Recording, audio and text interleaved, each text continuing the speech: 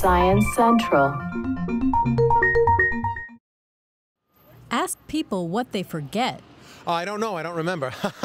Some will laugh it off, some will pass the buck, Ask my wife, I forget a lot of things. and some will just fess up. Where I put my house keys? We all forget things, but MIT psychologist Aude Oliva and her team have discovered that visual memory, your mental storehouse of pictures, is bigger and better than scientists thought. Certainly, it's changed my views about what's possible in memory. The researchers looked into how much detail people could retain.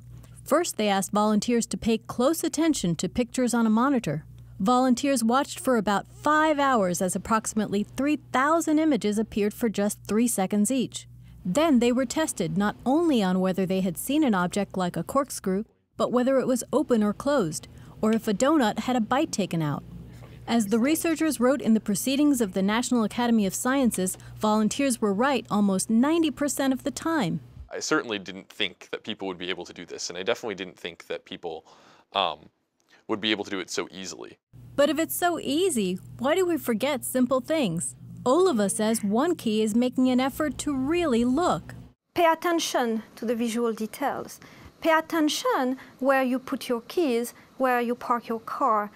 She says taking those few moments could spare you from lost keys And it was just so embarrassing because I didn't know the street I parked on. or lost pride.